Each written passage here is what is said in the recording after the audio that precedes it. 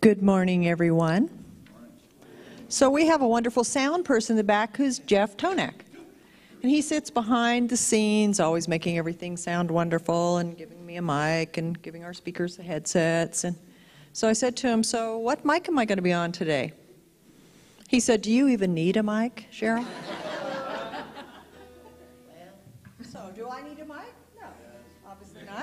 Online, for our viewers online. We are glad that you all are here today, and, and we're welcome to you that are online too. Just want to let you know that we are a mask free zone now, and um, we have our chairs and everything back together. So, whatever, what? It's not mask free? Ma- oh, excuse me, max op- mask optional. So anyway, you don't have to wear a mask anymore when you come to Compass. So just want to let you know that. We have all our chairs back together, so it's really wonderful. And from a leadership standpoint up front here and singing, it's so great to be able to see everybody's faces now. So that's extra special. We have a men's Bible study group that is meeting on Thursdays now at 6 p.m. here at the church. So all you men that would like to do that, you're welcome. Also, all of our Sabbath school classes are meeting from birth to 12th grade, and we have places around the church where those are meeting. We also have an adult Sabbath school class that just started a week ago that's meeting in the youth building over there.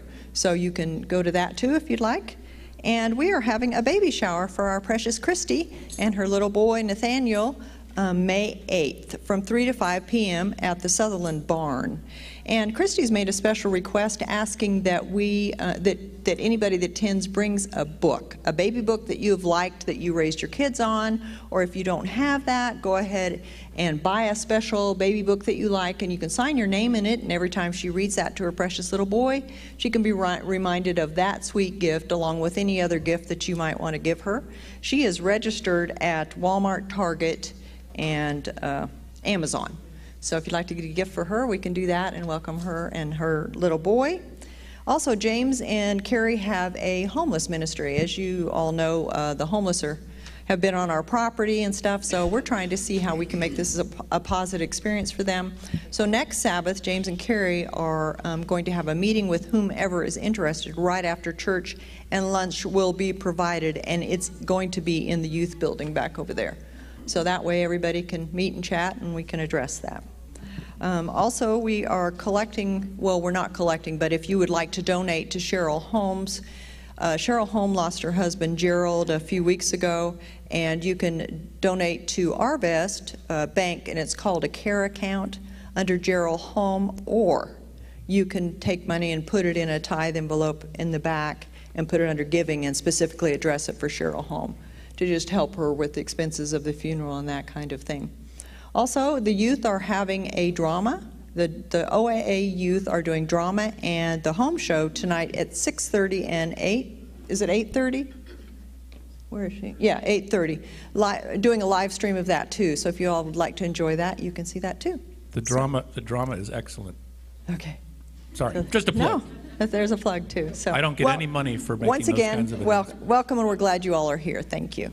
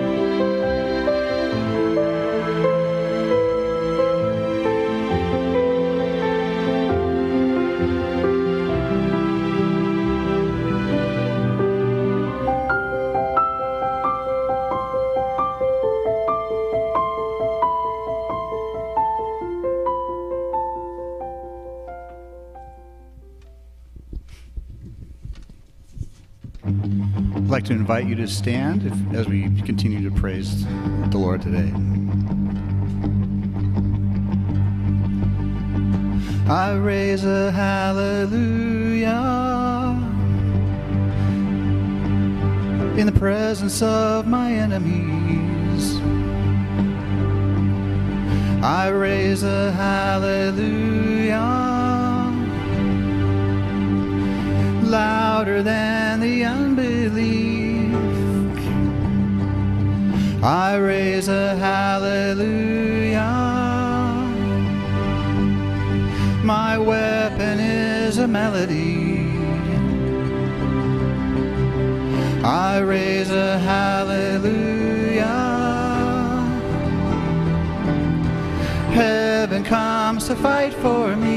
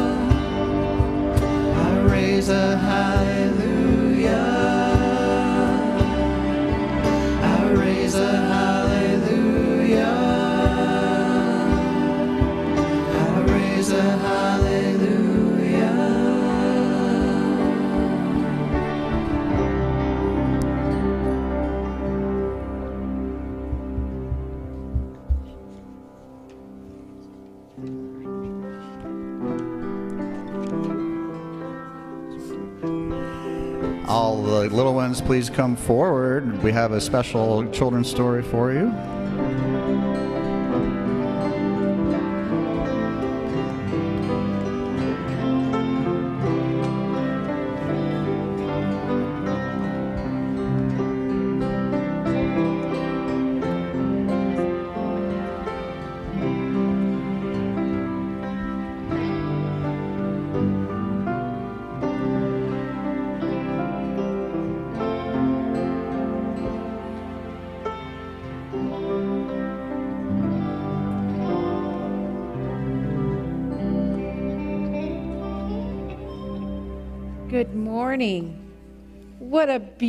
Beautiful group of kids we have.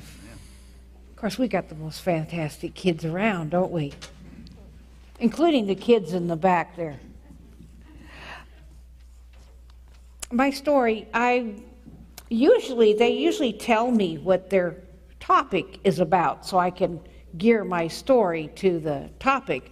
But this time I didn't get a text. I couldn't find anything. So I know it's about the Holy Spirit. So I decided to pray about it. And I asked God, I said, please give me a story that will go with what the teaching is.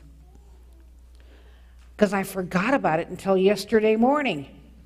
And I was driving by a church and I was thinking about, I went, I've got the children's story this week. I've got to think of, okay, Lord, you know a good story. I know you do. Just bring to my mind a good story. Well, I'm going to tell you about somebody you already know me. When I was in college a few years ago, okay, wasn't that close, but anyway, a few years ago, I was taking an English class, and it was American literature. And you know what we had to do?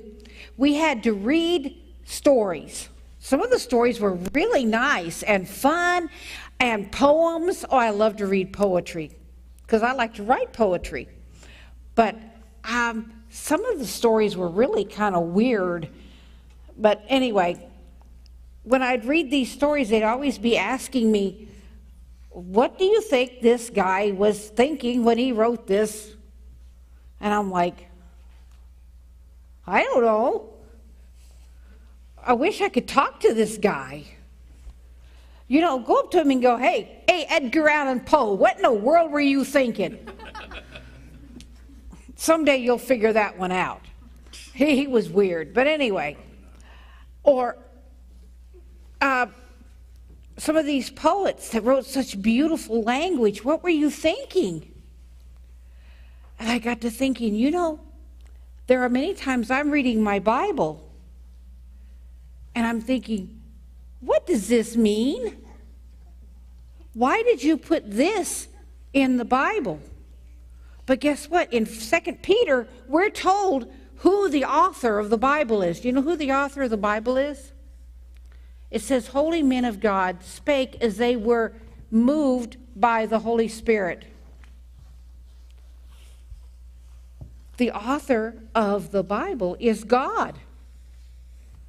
And by way of the Holy Spirit, I can go and I can say, Hey, God, please tell me, what did you mean? What did you want to tell me in this verse? I don't have to guess, do I? And I can go and I can ask, and He will tell me because He wants me to understand. My dad always said that the Bible is God's love letter to us because in it, it tells about how much God loves us. Isn't that awesome? That God wrote us a love letter.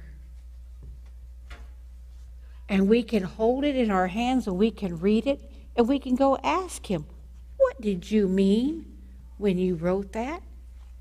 And what does it have to do with my life today? Think about that this week. Thank you for listening. You may go back to your seats.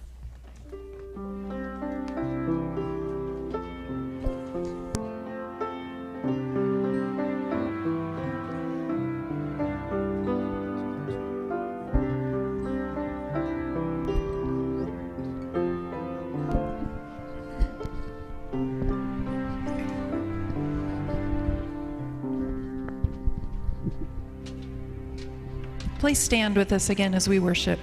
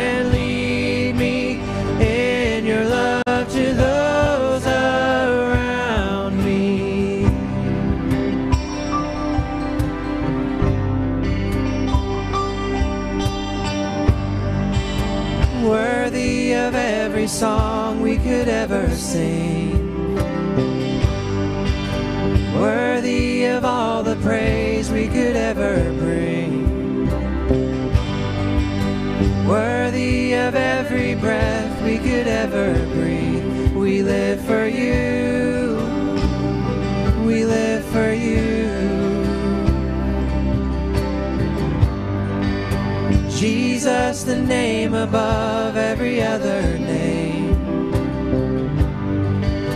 Jesus, the only one who could ever save. You're worthy of every breath we could ever breathe. We live for you. We live for you.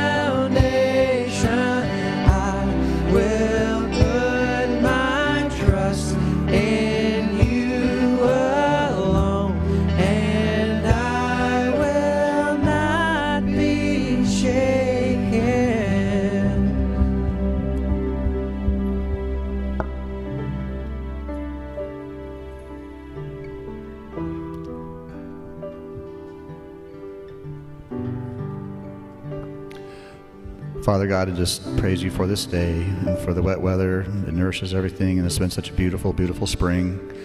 All the pretty blossoms and dogwoods and red buds, and we're just so blessed. And thank you for this community, this church community, and just be with each person here, Lord, and just fill each person here with your Holy Spirit. And we pray especially for Doug as he as he expresses his words, your words through him. And we love you, Lord, and we just are blessed in so many ways. Amen.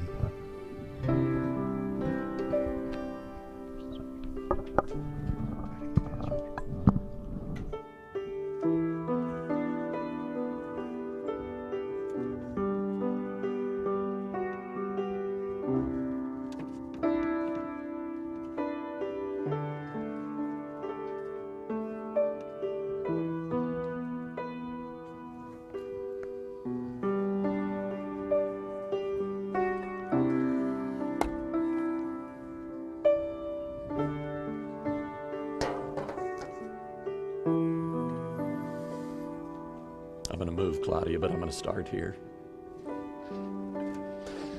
Good morning, Compass. Thank you for that personal response.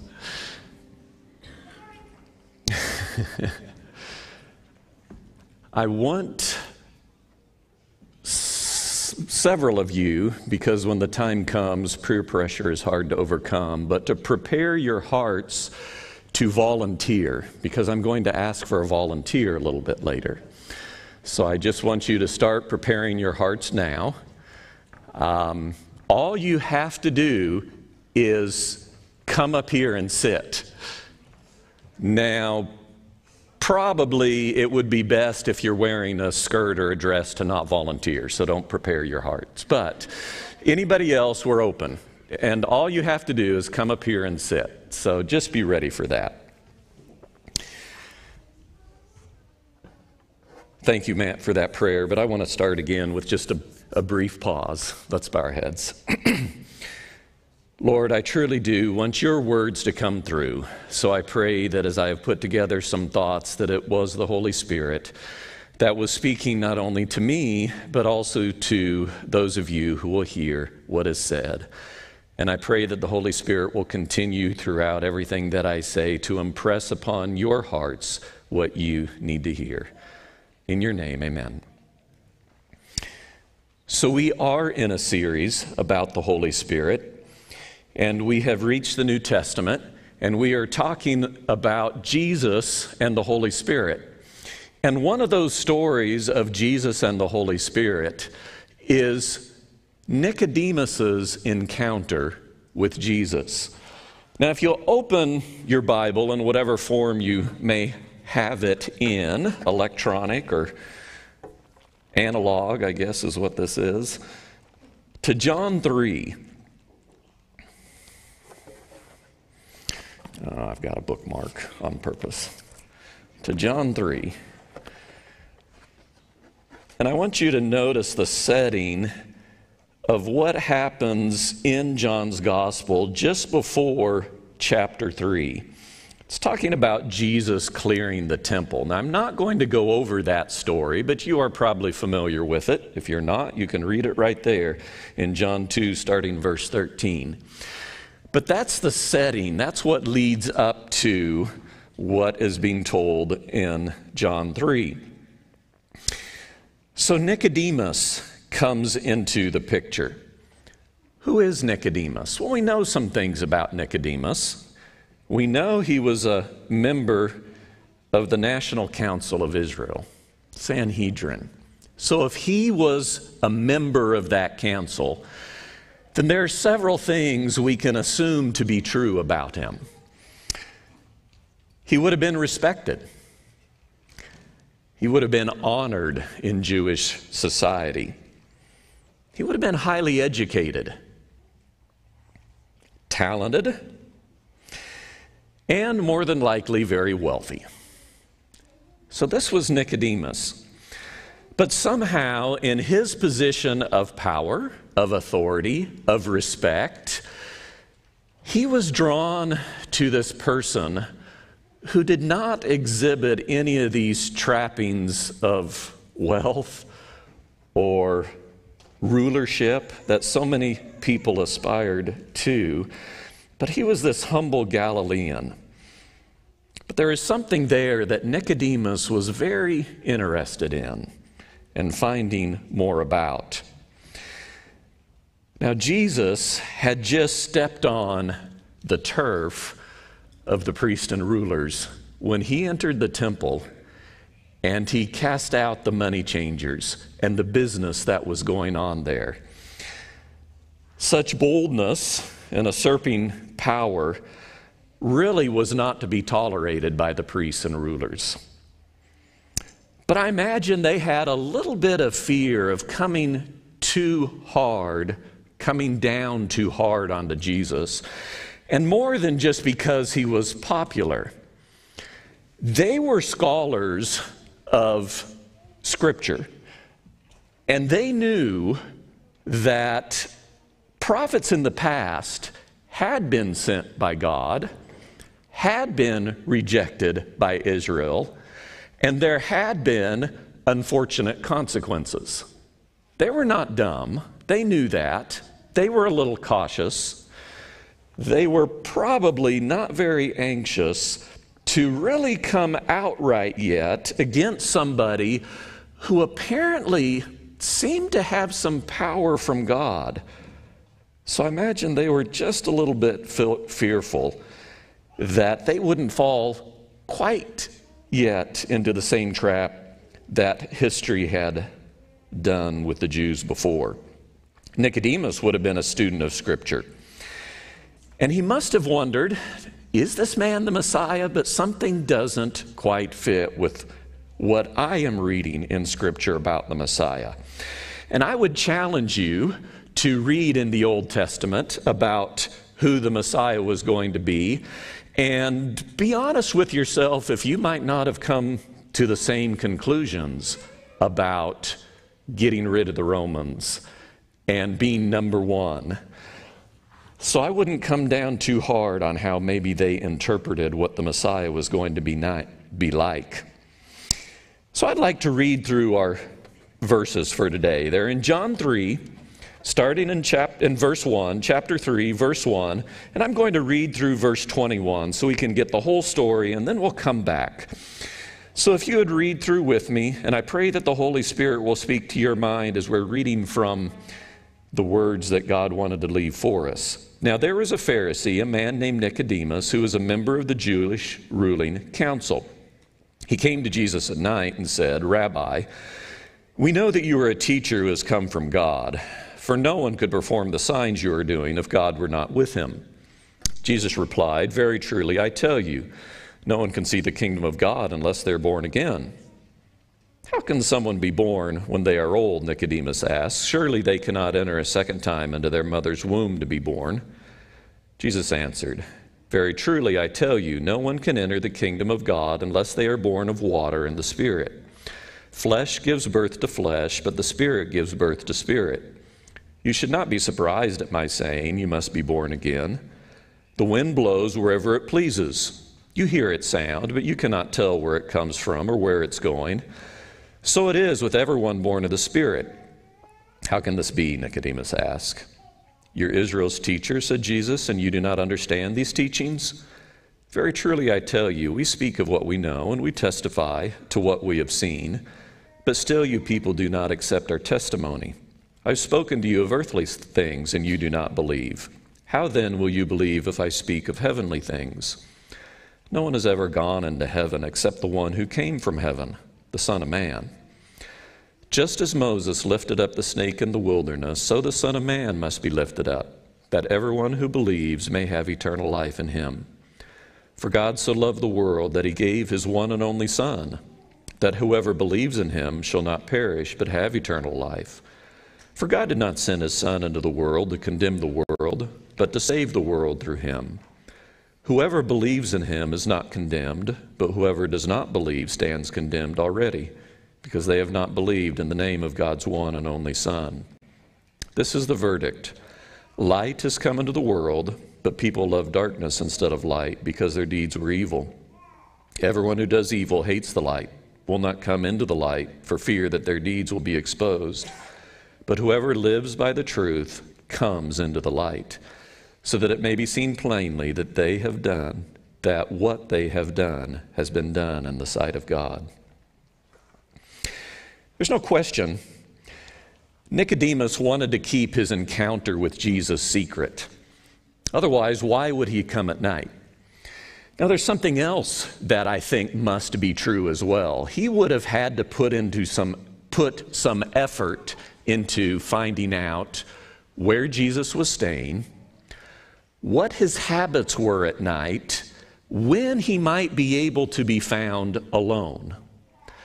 So Nicodemus was very intentional about meeting and talking with, with this Jesus. Now, why didn't he want it to be known? I don't know. Was he afraid of the condemnation of his peers? Afraid of what his friends might think? Afraid of what is, would happen to his reputation? Listen to Nicodemus's opening remarks. They would have made the human resources director proud. Verse 2 Rabbi, we know that you are a teacher who has come from God, for no one could perform the signs you are doing if God were not with him. What a perfect example of a skilled communicator just smoothly paving the way for a mutually respective conversation. I'm going to share some, you're going to share some, we can dialogue a little bit. It's the perfect way to start a conversation. Jesus, however, saw right through the smooth words to Nicodemus's unbelief of him as the Messiah. Notice he said, We know you must have come from God, you're doing these things. But Jesus also saw a seeker for truth.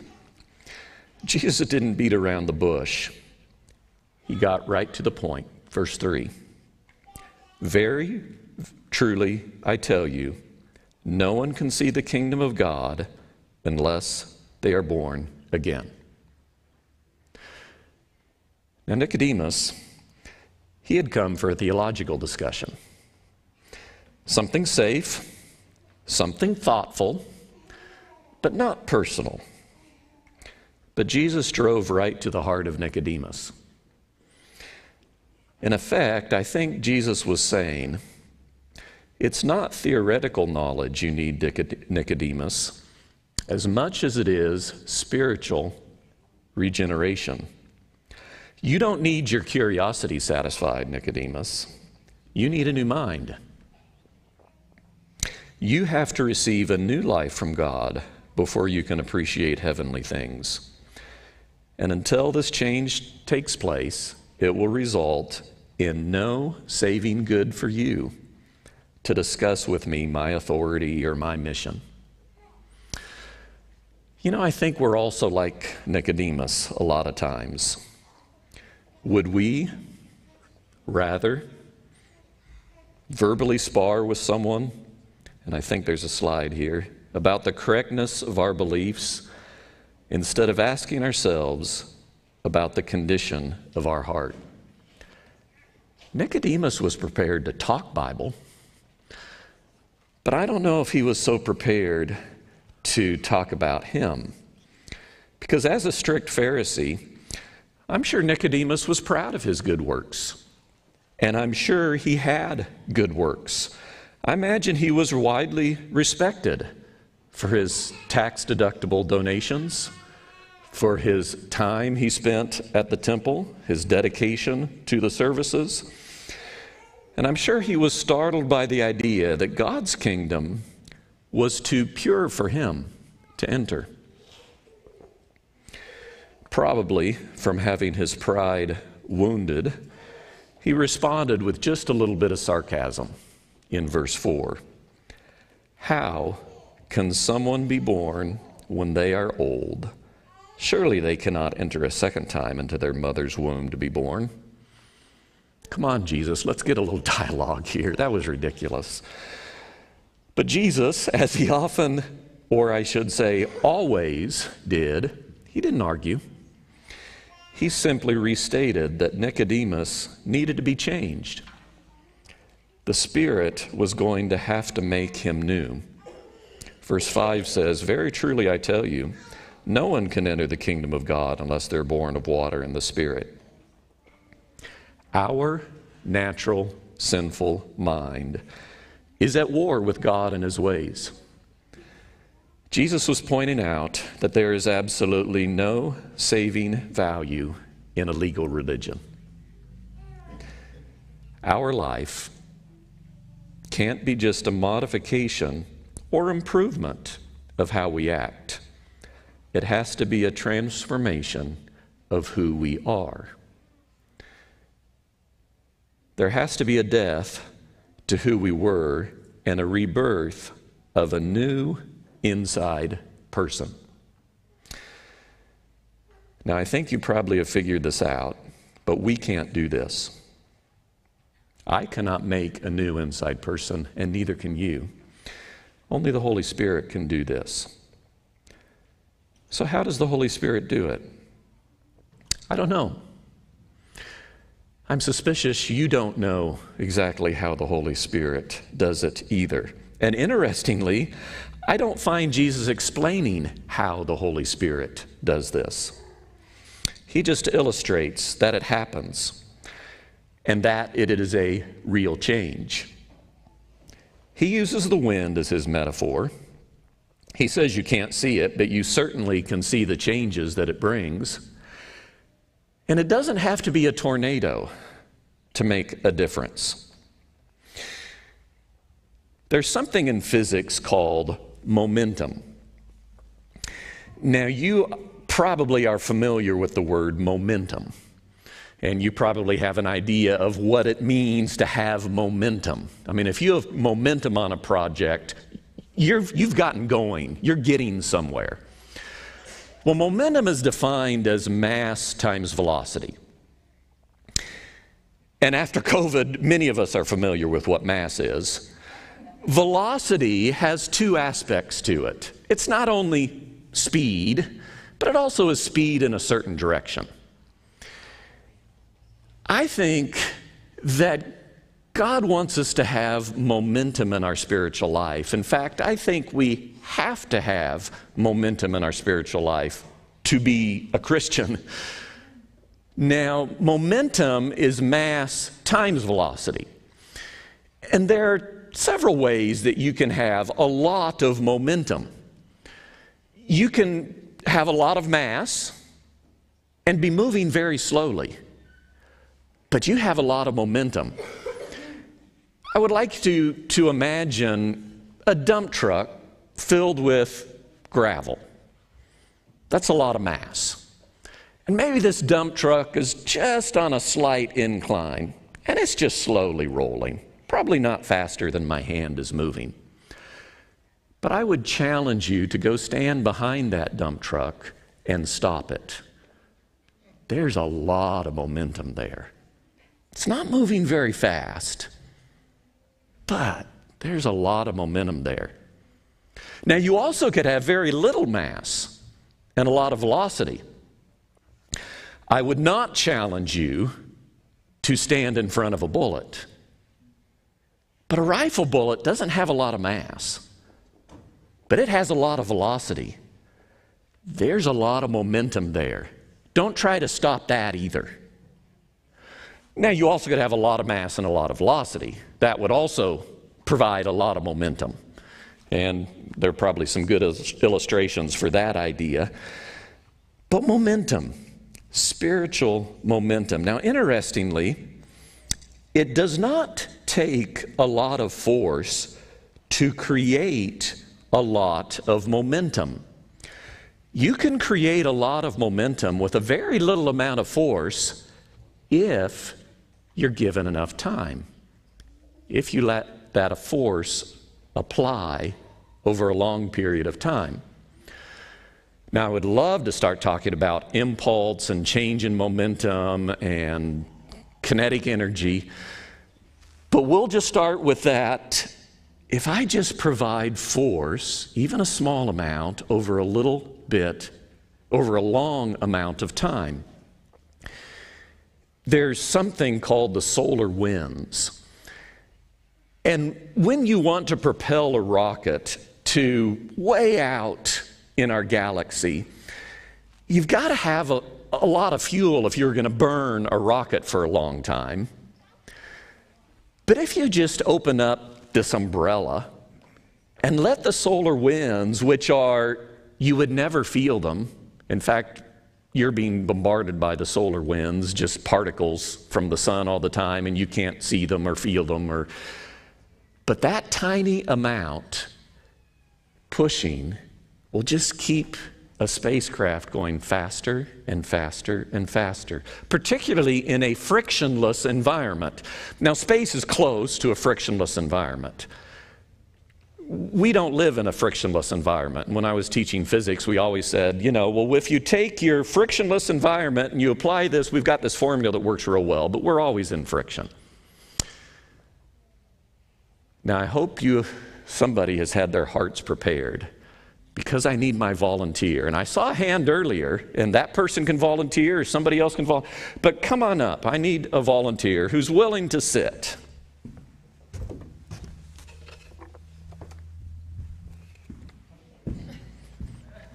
I'll do physics with you. Thank you. You. Just make yourself comfortable on that. Ho- however, it see, feet up. I'm not wide enough. Okay. Now, you can't touch the floor, but I would like you to have some momentum.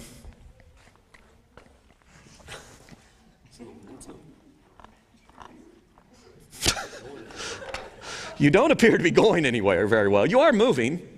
Well, not that way.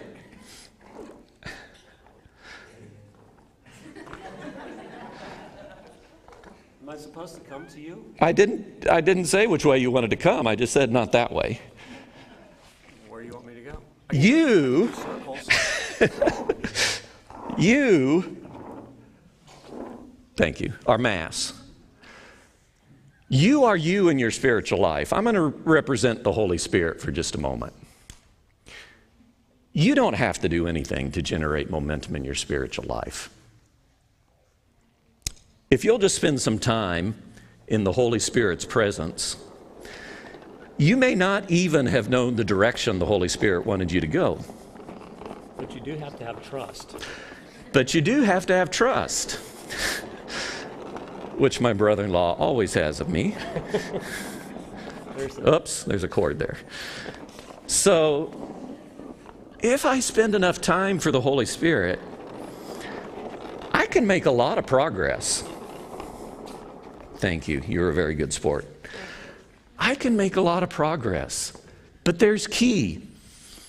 If Robert was not, if Mr. Fetters was not willing to come up here and sit down on this, he couldn't have even started to have pro- progress. If he wasn't in the presence of the Holy Spirit, he can't have any spiritual progress. And then once he gets in the Holy Spirit, I mean, he can start moving and slide around a little bit, but he's not making any velocity, any speed in the direction he needs to be going because he doesn't even really know the direction he needs to be going. But the Holy Spirit does know the direction he needs to be going.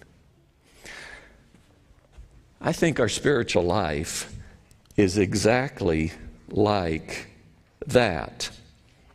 The same is true with the Holy Spirit. Time is the key. Spending time reading about Jesus, spending time listening to podcasts about Jesus, spending time watching videos about Jesus. This is how the Holy Spirit, in small, often imperceptible ways, can create a new heart in you. We become a changed person. Love, humility, and peace take the place of anger, envy, and fighting. Joy takes the place of sadness. The change comes when, by faith, we trust God enough to surrender ourselves to Him. He mentioned trust. Absolutely right. We have to. Notice in the cleansing of the temple, the priests and rulers f- fled from Jesus' presence. They were zealous for the appearance of holiness, in fact, sticklers for the letter of the law, but constantly violating its spirit. And when Jesus showed up, they weren't comfortable. They left. How about you and me? Would you be comfortable in Jesus' presence? Not from my goodness, and if you're honest with yourself, it's not from your goodness that would make you comfortable. But praise God, it isn't about us. It's about what God wants to do in our lives. It's through our belief in Him that He can do that, that He can do what we need in order to enter heaven. Faith doesn't save us, but we can't even have, we can't even have that without the Holy Spirit. We can't even repent without the Holy Spirit. We can't even have a desire to be with Jesus without the Holy Spirit. Here's how I believe it works. When we see how much God truly loves us by understanding who He is, in the submission of Jesus to die in the place of sinful you and me, then we are drawn to trust and surrender to Him. Verse 16 of John 3 For God so loved the world that He gave His one and only Son, that whoever believes in Him shall not perish but have eternal life.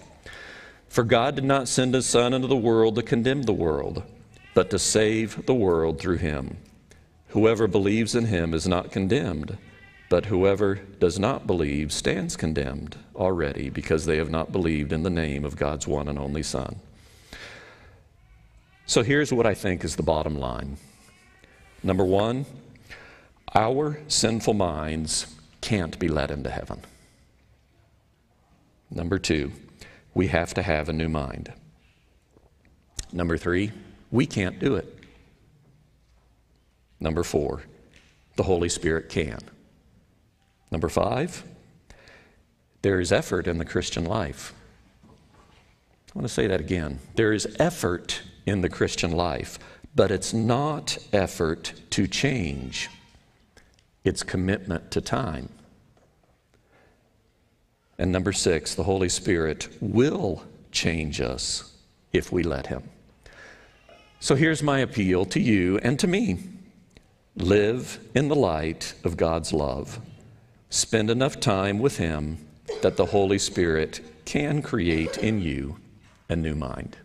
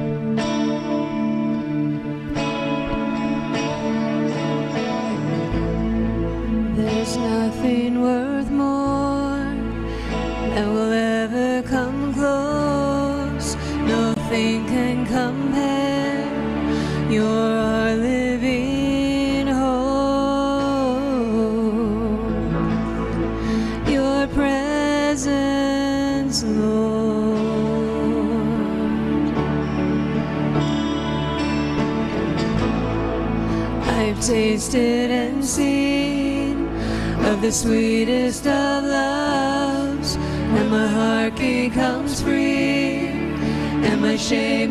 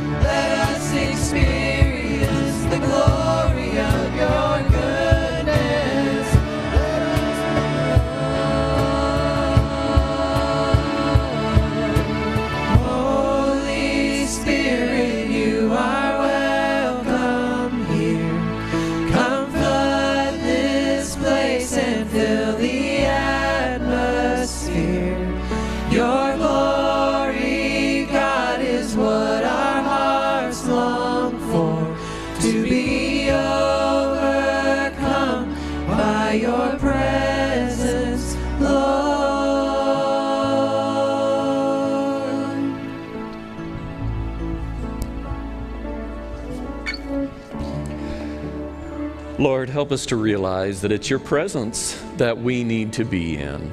I need to be in your presence every day, and you will make changes. I don't know how, and sometimes I may feel that it's not fast enough, but you are the one that knows the direction. You are the one with the wisdom that knows where to push, where to pull. Help me and help everyone here just to be willing to spend that time with you and be willing to trust you because we have caught a glimpse of how much you love us. Thank you so much for the direction and change you are more than capable and willing to do as we look forward to your coming. In your name, amen.